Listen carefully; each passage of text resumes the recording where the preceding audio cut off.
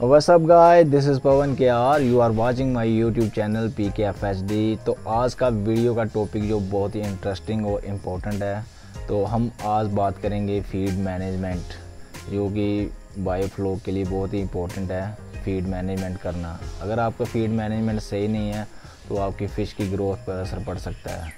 तो आज हम सबसे पहले अपनी जो टैंक की 15 और 20 पीस फ़िश के निकालेंगे, उसका वेट करेंगे।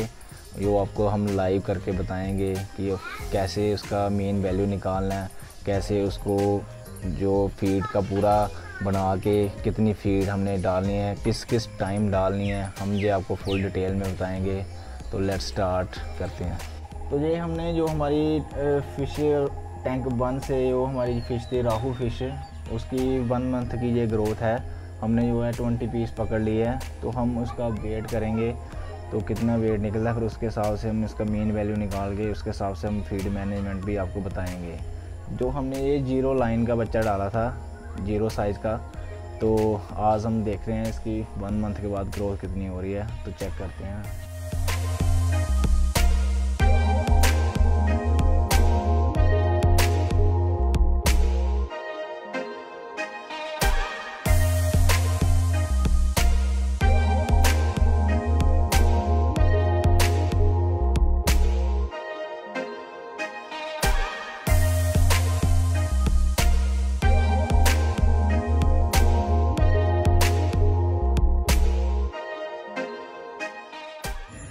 いちゃんと。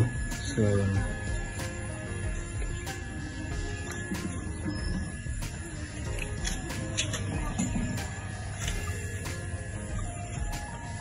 Seven, six, nine, seven.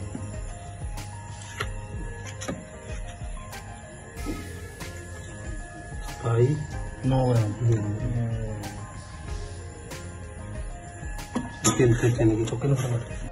तो जैसे आप देख रहे हैं कि हमारी जो टेन पीस हमने इसमें जो डाले थे, उसका जो वेट है सिक्सटी सेवन आया है। तो जो वन के जी हमारा वाटर है तो आप देख सकते हैं लाइव 67 ग्राम इसमें फ़िश वेट है। जो कि हमारी 11 फ़िश का वेट 67 ग्राम है। उसको 67 को डिवाइड कर लेंगे हम मीन वैल्यू 11 से, और मीन वैल्यू निकाल लेंगे। मीन वैल्यू को निकाल के जो हमारी टैंक में हमने थर्टी पैंतीस सौ पीस डाले थे। तो उसको हम 500 पीस की मोल्टैलिटी मान के और 3000 पीस मान के उससे मल्टीप्लाई कर लेंगे। उसको चार परसेंट या तीन परसेंट फ़ीड का कर लेंगे परसेंटेज निकाल लेंगे और उतनी फ़ीड दो टाइम हम देंगे, एक टाइम सुबह, एक टाइम शाम को। जितनी भी इसकी फ़ीड निकलेगी, आप मल्टीप्लाई करके चेक कर सकते हो। जैसे कि हमारे टैंक में कुछ फ़िश का वेट, देखो हम जो चेक कर रहे हैं वो नाइन और ग्राम है एक का टेन भी है किसका फाइव भी है किसका सेवन भी है।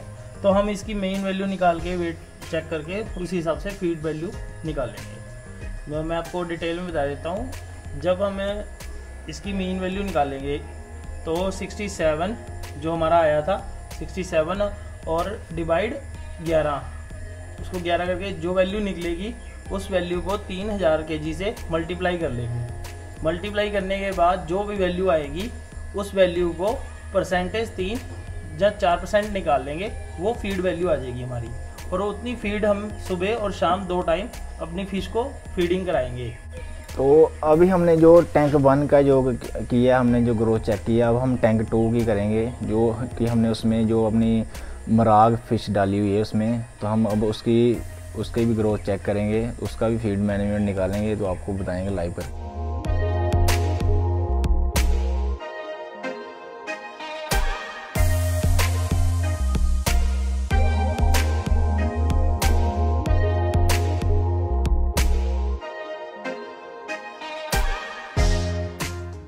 तो जैसे हमने आज टैंक टू में अभी ये फ़िश पकड़ी है तो आप देख सकते हैं, इसके हमने एटलीस्ट फिफ्टीन पीस पकड़े हैं।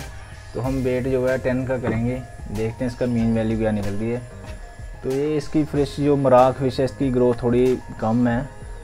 तो फिर भी ठीक है वन मंथ में इतनी ग्रोथ हो गई है, हम सेटिस्फाई हैं। तो अभी आपके सामने हम करते हैं। हाँ जी।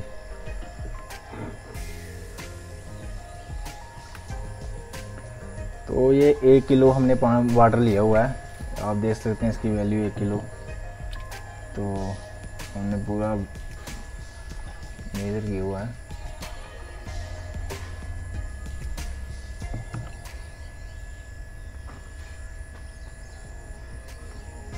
ये एक फ़िश है, चार ग्राम की। ये हमारी है मराग फ़िश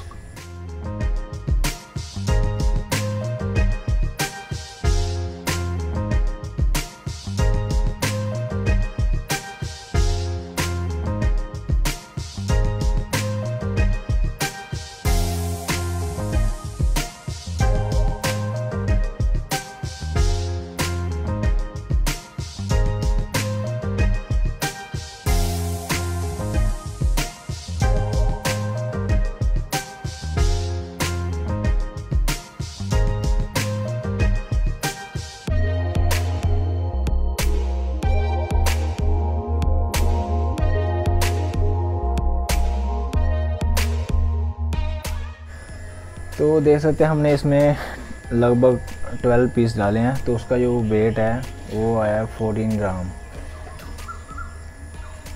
उसका जो वेट है 39 ग्राम आया। जैसे कि देख सकते हैं, ये हमारी फ़िश है जो सेकंड टू टैंक टू की है, और इसमें मराग हमने डाली है। मराग का जो नेचर है, नीचे बैठ के रहना है। हमें जो डाउट था कि इसकी ग्रोथ बहुत स्लो है।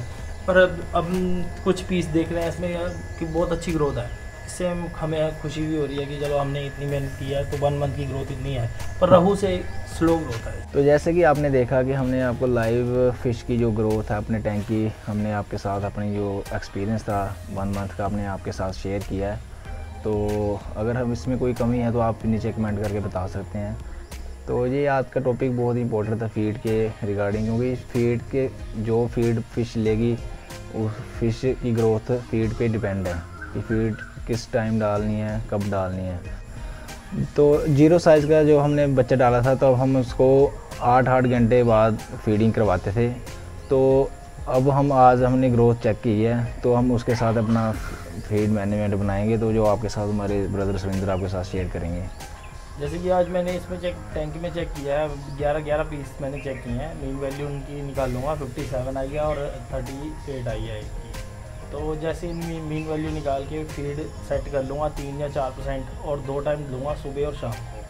और जो भी इसकी ग्रोथ होगी, एक मंथ बाद में फिर हम पंद्रह दिन बाद में फिर हम चेक करेंगे। पंद्रह पंद्रह दिन का हम शेड्यूल बना लेंगे। पंद्रह पंद्रह दिन बाद हम चेक करेंगे और उसकी फ़ीड को सेट करते रहेंगे।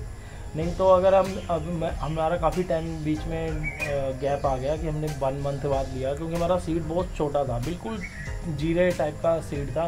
हमारा और उसमें मोल्टैटी होने की बहुत ज़्यादा चांसेस रहते हैं। फिर भी हमारे टैंक में इतनी ज़्यादा मोल्टाइटी नहीं हुई, पर मैंने फिर भी जो लगा मैक्सिमम लगा के चलाऊँ कि हमने थर्टी पैंतीस सौ पैंतीस सौ पीस डाले थे। तो मैंने माना है कि चलो पाँच सौ पीस की मोल्टाइटी होगी होगी। पाँच सौ पीस मर गए होंगे। तो तीन हज़ार पीस तो दोनों टैंकों में तीन तीन हज़ार पीस हमारे पड़े होंगे। जैसे कि अब पंद्रह दिन के बाद हम चेक करके आपको ग्रोथ बता देंगे। तो हम जो भी इन्फॉर्मेशन है आपके साथ शेयर कर रहे हैं, अगर आपको हमारी वीडियो अच्छी लग रही है तो please like share and subscribe my YouTube channel तो इसके आगे मैं अपनी वो लेके आ रहा हूँ, एक एक सीरीज़ लेके आ रहा हूँ बायोफ्लोक फुल डिटेल में लेके आ रहा हूँ। उसका एक एक पॉइंट मैं आपको अपने चैप्टर में एक्सप्लेन करूँगा। तो तब तक के लिए please subscribe my YouTube channel thanks so much